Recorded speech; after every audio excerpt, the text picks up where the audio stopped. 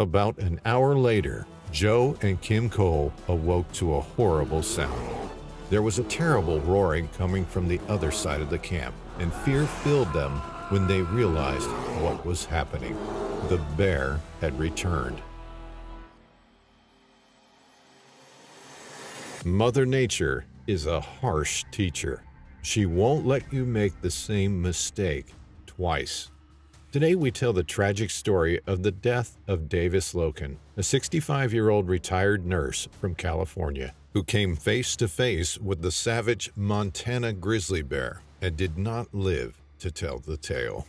It all began when Davis decided to take part in a Tour Divide bicycle race a 2,745 mile ultra endurance cycling event which runs from Banff to New Mexico. Davis embarked on the much anticipated event with her sister and a friend. Like anyone enjoying her retirement, Davis was excited by the upcoming trip and made all the necessary arrangements. She packed enough food and clothes for several days. She even packed bear spray. But it wasn't enough.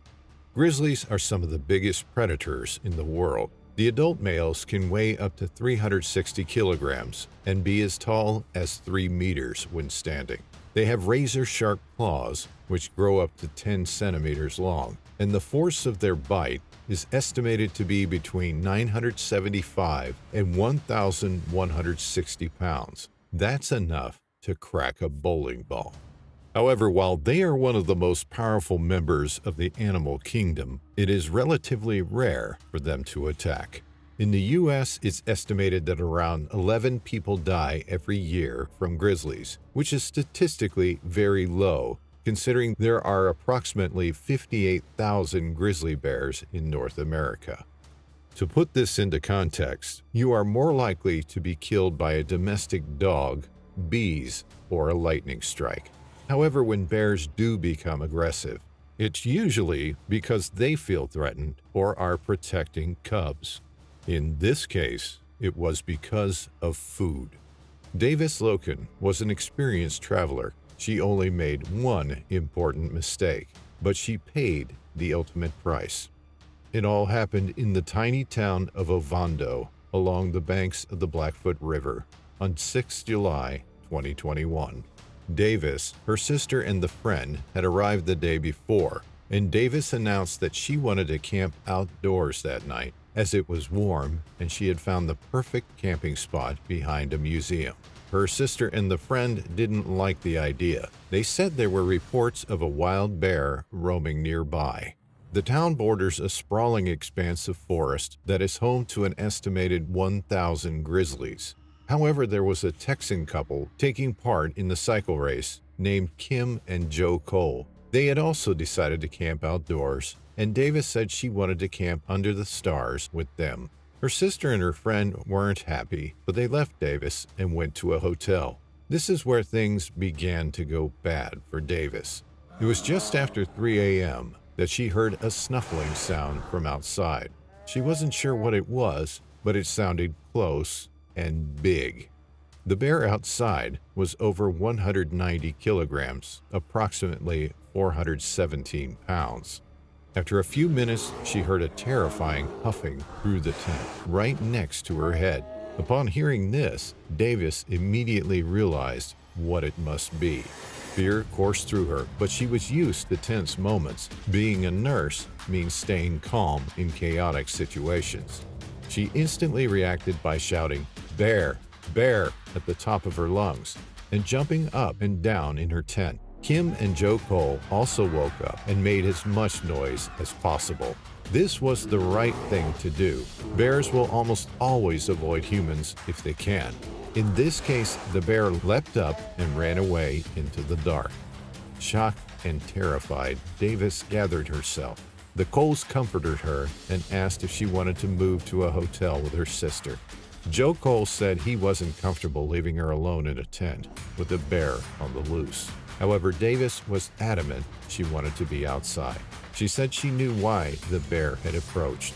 There was a pack containing lentils in her tent. Had it not been for that, she said, the bear would never have come close. In an attempt to remedy her mistake, she immediately took every crumb of food out of her tent and stored it in a nearby building. However, she didn't account for the bear's incredible sense of smell, and she left a small bag of toiletries in her tent, a bag which had contained cranberries the day before. That tiny residue of food was all it took to attract the bear, and that mistake was the last one Davis would ever make. About an hour later, Joe and Kim Cole awoke to a horrible sound. There was a terrible roaring coming from the other side of the camp, and fear filled them when they realized what was happening. The bear had returned. Running out of the tent, Joe shouted, Bear, bear, at the top of his voice, while his wife Kim started blowing an emergency whistle. The bear was only meters away, pounding up and down on Davis's tent. It stopped for a moment when Joe emerged and looked him directly in the eye, showing no fear at all. Joe thought that this was the end for him as well, but luckily he had bear spray and he quickly shot the entire can in the bear's direction. The bear turned and ran back into the woods, but it was too late. As Joe and Kim approached the tent, they saw a terrible sight that would stay with them forever. Davis had been crushed and dragged half out of the sleeping bag by the bear. There were horrible wounds to her neck and spine. She had died instantly, and there were no signs that the bear had begun to consume her body. This was at least a small mercy. The National Park Service later did a full report, describing this as a predatory attack and saying the bear must have been food conditioned, meaning that it had learned that humans regularly carry food and subsequently had lost all fear of people. A very dangerous thing indeed. They also said it wasn't only the food residue in the tent that had attracted the bear, but the surrounding park as well, due to the fact that there had recently been 4th of July celebrations and the entire area was littered with leftovers. Soon after this, the bear was seen breaking into a nearby chicken coop. Authorities shot the bear on the 9th of July after several days of tracking him to be sure that it was the right animal. DNA analysis from the bear's paws confirmed that it was responsible for Davis Lokan's death. While nothing can make up for her tragic loss, at least Davis's family can be comforted by the knowledge that it won't take any more lives.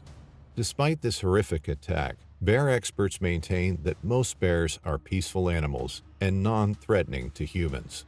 The mistake that Davis made was to return to her tent after the first encounter. This probably emboldened the bear, which already lacked sufficient fear of people.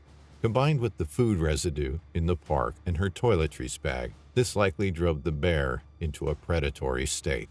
It's possible that a simple movement made by Davis, such as turning over in her sleeping bag, caused the bear to pounce as if it had encountered a prey animal, which ended in the sad loss of life, both for Davis and for the bear itself. How to be grizzly bear safe. Don't go alone. Groups are usually louder and more boisterous than solitary hikers, so the bear is most likely to steer clear of you. Stay on the path. Bears will usually avoid areas where they think humans will be, so it's best to keep to the established routes. Make yourself heard by talking gently and loudly so the bear knows you are a human and not prey. Remain still, stand your ground, but peacefully wave your arms. This will help the bear see you as a human.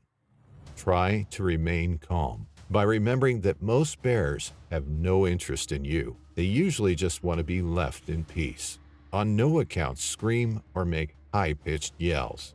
And never try to imitate bear sounds. This will only irritate it.